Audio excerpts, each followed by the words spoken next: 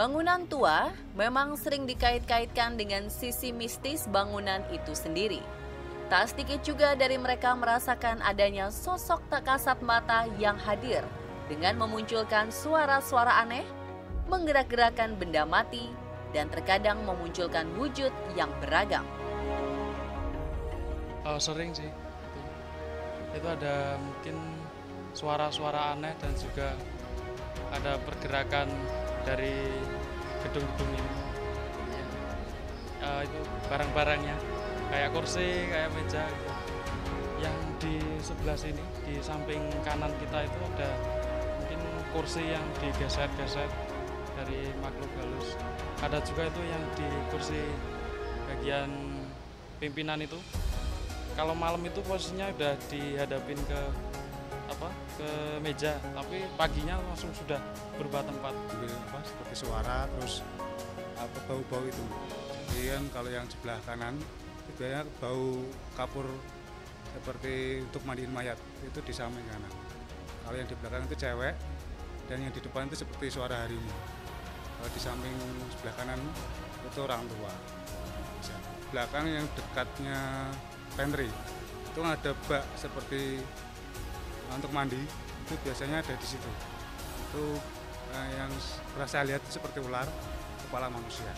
Kalau horor sih enggak ya mbak. Tapi ya pernah ngerasain aja. Ya saya pernah dirukiah aja sama driver sini. Itu. Karena ada sesuatu terus diambil aja dirukiah sama orangnya. Katanya ada yang aneh di badan saya balik cerita mistis dari bangunan tua, pasti memiliki kisah sejarah tersendiri. Seperti sebuah bangunan tua di Semarang ini.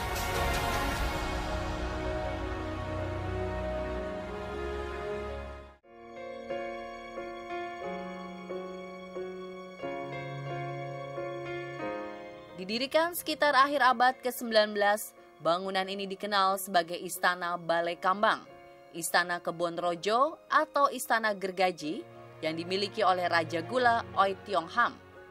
Tim on the spot berkesempatan untuk mendatangi langsung bangunan yang saat ini dijadikan kantor otoritas jasa keuangan sekaligus mencari tahu siapa sosok Oi Tiong Ham yang dikenal sebagai Raja Gula asal Semarang.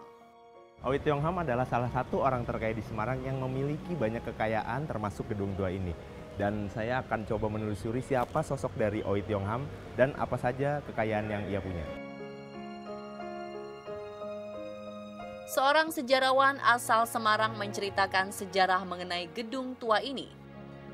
Tapi bangunan ini dibangun sekitar uh, akhir abad ke-19, ya, permulaan abad ke-20 dan terkenal sebagai Istana Balai Kambang atau Istana Kebon Rojo ya atau Istana Gergaji.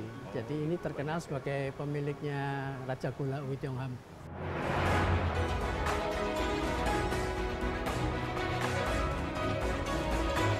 Oi Tiong Ham merupakan sosok yang terpelajar dan dinilai paling berhasil dibanding saudara sekandungnya Oi Tiong Bing. Tak heran di tahun 1890, Oi Tiong Ham mengambil alih perusahaan orang tuanya yang bergerak di perdagangan gula. Seiring berjalannya waktu, usaha gula yang ia jalani mengalami kemajuan yang pesat. Sejak itu, ia dijuluki sebagai Raja Gula. Kesuksesan Oi Tiong Ham membuatnya dekat dengan para pejabat di zaman kolonial Belanda. Dan hal utama dari bangunan ini dahulunya sering dijadikan tempat berkunjung tamu-tamu negara. Dalamnya sudah sudah banyak berubah sebetulnya, tetapi ceilingnya atas ini masih sama lah. Cuma diberi warna. Nah, lampunya ini tentu baru. Ya. Oh. Tapi kalau lihat faskadenya ini semua masih sama. Ya. Ini baru. Ya. Ini kan hall hall utama dari rumah ini. Jadi kalau ada tamu-tamu seperti Gubernur Jenderal Belanda dulu datang sini, ya, itu dijumpakan di sini. Oi Tiong Ham menguasai ekspor gula ke berbagai negara. Bahkan Oi Tiong Ham membeli lima pabrik gula yang bangkrut untuk diperbaharui serta mendatangkan alat-alat maupun mesin-mesin baru dari luar negeri.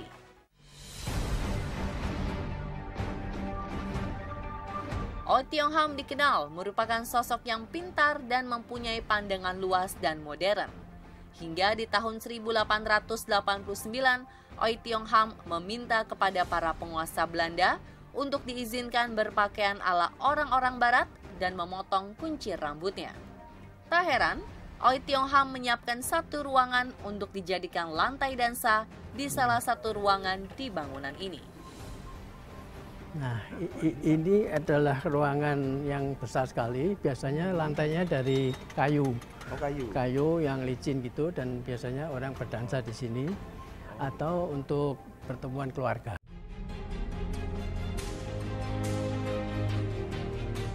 Ternyata kekayaan dari Oi Tiong Ham tidak didapat hanya dari bisnis gulanya saja. Oi Tiong Ham masih memiliki beberapa bisnis yang juga maju, Salah satunya monopoli candu di wilayah Semarang, Surakarta, Yogyakarta, dan Surabaya. Setidaknya di tahun 1890 hingga 1903 telah mendapat keuntungan hingga 18 juta gulden. Jika dihitung, 1 gram emas kala itu seharga 7 gulden, maka dengan uang 18 juta gulden mampu membeli 2,5 ton emas. Jika 1 gram emas saat ini dihargai Rp641.000, maka kira-kira keuntungan dalam bisnis candu dalam 13 tahun sebesar 1,6 triliun atau sekitar 133 miliar setiap tahunnya. Tak heran jika Oi Tiong Ham memang termasuk orang terkaya di Asia Tenggara pada zamannya.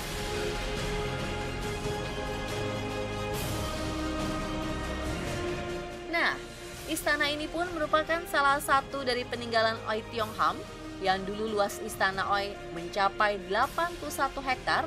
Luas banget kan pemirsa?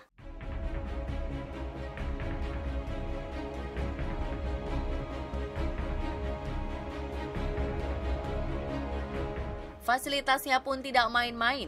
Di belakang gedung utama, dulunya terdapat tempat taman bunga yang sangat luas, kebun binatang mini, dan ada juga danau-danau kecil yang di atasnya terdapat gazebo-gazebo yang mengambang di atas danau. Sekarang danau-danau kecil itu telah menjadi perkampungan warga yang disebut Balai Kambang. Dengan kemegahan istana Oi Tiong Ham, beliau mempunyai kebiasaan unik pada saat datangnya Hari Raya Lebaran. Eh, keluarga Ui ini memberi kesempatan kepada masyarakat selama tiga hari tiga malam untuk berkunjung ke ke wilayah ini.